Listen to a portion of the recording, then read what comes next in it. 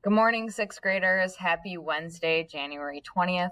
I'm quickly going to um, go over what the expectation is for today, even though I am not live teaching. So it's pretty quick. Um, again, you need to check the task sheet. Hopefully, you are checking the task sheet and you did because I think I haven't posted it yet, but the only place I'm going to post this video for you to see it is on the task sheet, so you're already what you doing what you need to do. Okay. Um, it's going to be quick, it's going to be short, and we're going to go over some student samples tomorrow. And I'm going to talk a little bit more about paying attention to audience in your persuasive writing. All right. Okay. So it is really important to be when you're being trying to be persuasive that you do in your back pocket in the back of your mind have the uh, uh, the attention to the audience and who you're trying to sell and kind of really get to buy in. That will overall make you be a more persuasive writer if you always have kind of like those audience appeals in the back of your mind. Okay.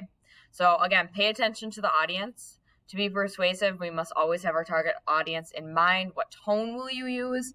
And what strategies of appeal will you use? Okay, so we're just going to practice today. So, what you are going to do is the goal. You're going to do it twice. You're trying to convince your parents to let you have a sleepover on a school night versus trying to convince your friend to have a sleepover on a school night. And maybe some of you are like, I won't need to convince my friend, okay? Maybe you have a big math test tomorrow, Minnesota Studies test let's just say your friend does not want to have, they're kind of cautious, a little hesitant on having a sleepover on the school night. This should not be the same. Okay. Your audience is different. You're trying to persuade two different people here. All right. This should not be the t- same responses. Really take your time with this. What reasons will you give? What tone will you do, use? Um, what persuasive appeals will you use? All right. This was assigned you on Google Classroom titled Number One Persuasive Writing Attention to Audience. Um, if you're still hanging with me, which you should be because it's only been two minutes and you should still be watching this crazy good video, I will update the leaderboard. And Ernie found his ball. He is here with me today. Hey. Hey. Say hi. Okay. All right. So the leaderboard, here we go all teams were able to find the letter I. Okay? So good job. All teams will um, receive two points.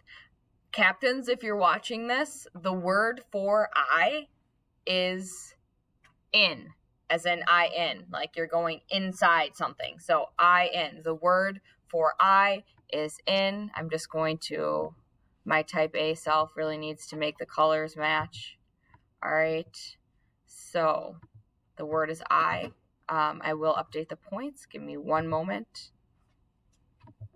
Oh, that's not the right color.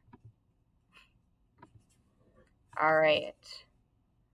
So, drum drum roll, please, as I. Oh, that's not what I want. I'm not a good multitasker. Sorry, my video is going downhill from here. Okay.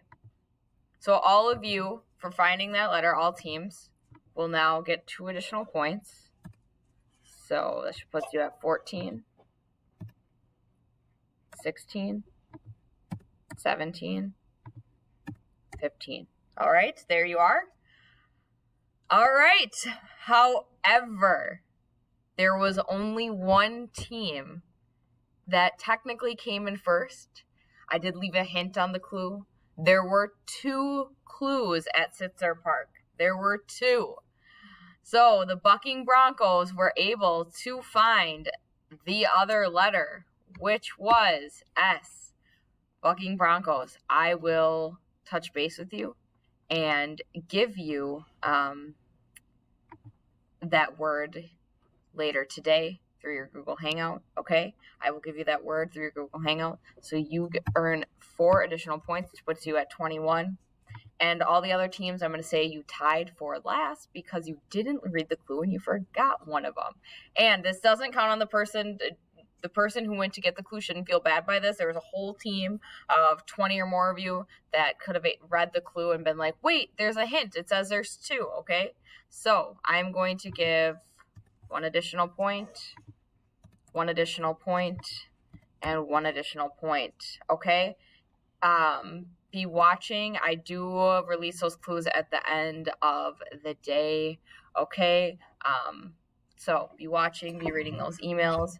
Have a fantastic day. I will see you live tomorrow. Bye.